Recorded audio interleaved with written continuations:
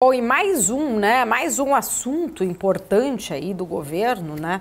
O ministro de Minas e Energia, o Alexandre Silveira, ele disse que o modelo de privatização da Eletrobras é um fato consolidado e que não cabe, então, um debate sobre a reversão da privatização.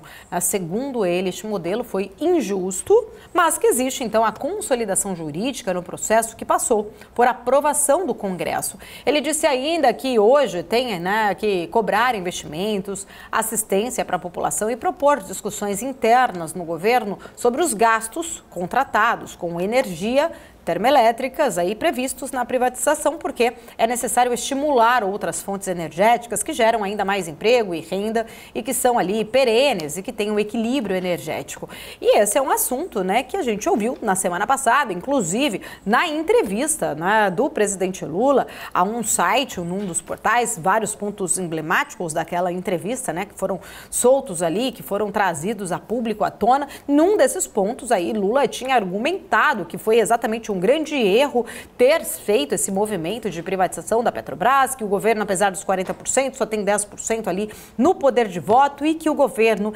iria à frente, a fundo, para fazer o que fosse necessário para reverter este processo. A gente viu, né, a queda que a Eletrobras teve logo depois, né, Felipe, das falas de Lula, mas que agora parece que o governo vai tentando novamente, como tem sido feito desde o início, né, traz ali, né, a ala política, depois a parte parte técnica vem tentando salvar os estragos ou amenizar, vamos dizer assim, os impactos que são causados pelas falas do presidente. Pois é, Paula, não só o ministro Alexandre Silveira, mas também o próprio é, ministro do TCU, Bruno Dantas, é. falou ontem também sobre essa situação, falou que é um caso já superado, que é uma situação que não deve chegar ao Supremo Tribunal Federal principalmente porque é, o STF não entraria nesse assunto. O STF não teria nenhum tipo de ingerência sobre esse assunto. Embora o ministro Bruno Dantas ele acabou dando uma razão para o governo questionar essa questão da privatização, justamente porque um dos pontos abordados pelo governo é o seguinte que o governo tem 40% de participação na Eletrobras, mas só tem uma cadeira de conselheiros. São nove conselheiros é, na Eletrobras e o governo só tem uma cadeira. Então, 40% de participação na empresa com um conselheiro, isso seria desproporcional. Por isso que existe também uma, uma, um questionamento né, do governo sobre essa situação. Mas o ministro de Minas e Energia falou que é fato consumado, que não vai ter nenhum tipo de discussão, não vai ter judicialização desse processo também o Bruno Dantas falando uhum. que isso não deve chegar no STF. Inclusive, essas falas, Paula, do Alexandre Silveira, do Bruno Dantas, deram fôlego para as ações da Eletrobras. Você comentava aí sobre as quedas, né? Ontem elas fecharam em alta de 2,88%. Investidores têm ficado apreensivos aí ultimamente com essas falas né, de integrantes do governo, inclusive o próprio presidente Lula, sobre reestatização da companhia e isso gerando insegurança. Talvez agora a empresa consiga respirar um pouco é, mais aliviada. No gráfico, inclusive, que a gente vai colocar agora, olha só, as ações de Eletrobras perderam mais de 35% de valor de mercado desde outubro do ano passado, quando o presidente Lula foi eleito. Desde então, ele vem repetindo aí que pretende rever essa privatização, que pretende colocar em discussão a revisão da a, a, reestatização da companhia. Segundo o governo, o trâmite não foi correto, a empresa foi subavaliada e no ano passado as ações da Eletrobras valiam cerca de 54 reais cada uma. Lá no topo do gráfico, perto de no comecinho de novembro, para falar bem a verdade. Ontem elas fecharam em R$ 34,70. A gente vê aí toda essa queda desde novembro do ano passado, desde o fim é, de outubro, comecinho de novembro ali, depois da eleição do presidente Lula, e até chegar nos R$ 34,70, fechamento de ontem, ontem, depois de subir 2,88%, depois dessas falas, do Alexandre Silveira e do Bruno Dantas, mas a gente vê ali um movimento bastante é, profundo, né?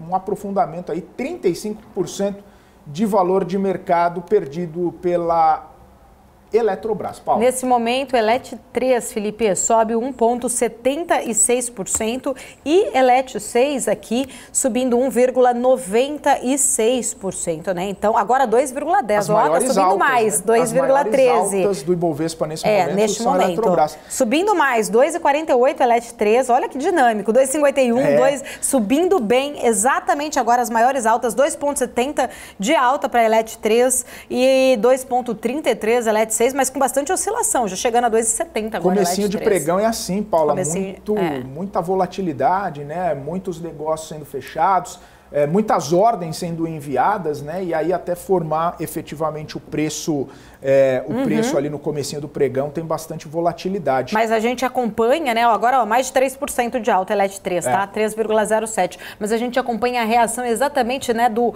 alívio que uhum. essas falas mais técnicas que ponderam, né, que não deve haver nenhuma reversão nesse processo, que realmente isso não deve acontecer. A gente vê, na verdade, a reação imediata aqui para o papel, né? Trazendo aí né, o mais otimismo, 3,20% agora de alta para a Elet 6, Elet 3 subindo bem aí, reação do mercado, depois dessas falas que acabaram aí, né, trazendo uma, uma parte técnica contrária do que o próprio presidente Lula falou na semana passada. Pois é, e acho que o mais importante para o investidor, né, Paula, é a questão de um integrante do governo, né, o ministro de Minas e Energia, falar sobre essa não possibilidade de reversão da privatização da Eletrobras. Enquanto era o ministro do TCU, enquanto uhum. eram pessoas ligadas ao mercado falando sobre isso, era uma Com coisa. Agora. Agora, o é próprio ministro de Minas e Energia admitir que não cabe discussão, que assim foi um processo equivocado na visão dele, foi foi um processo que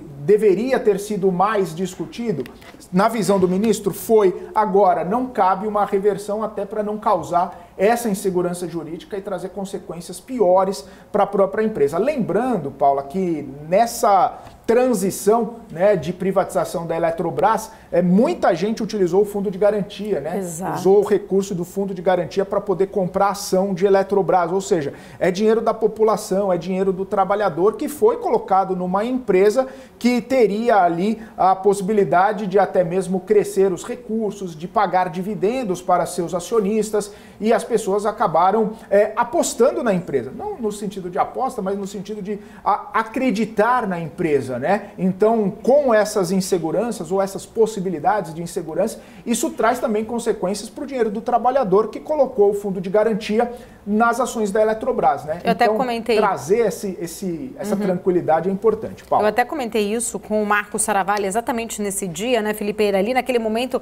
desde o nome de Lula ter realmente sido anunciado como presidente, até no dia, foi na semana passada, a Eletrobras tinha perdido cerca de 40% ali do valor uhum. de mercado na, naquele momento.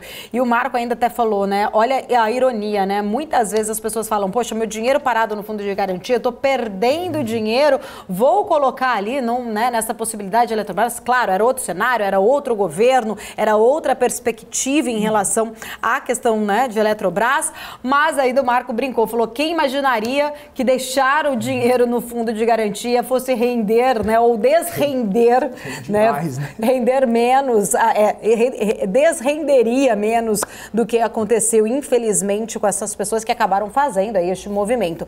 Felipe, daqui a pouco o Felipe vai lá para o telão, mas só para a gente atualizar, Ibovespa que conseguiu abrir em alta acabou de virar para queda. Está tá ali, né? A estabilidade, vamos dizer assim, 0,03% de queda, agora 90, na casa ali dos 99.536 pontos. Daqui a pouquinho a gente vai atualizar. Nas altas ainda, a gente está vendo ali os papéis, tanto de Eletri, Elet 6 subindo bastante, mas temos daqui a pouquinho atualização, então, deste cenário. E...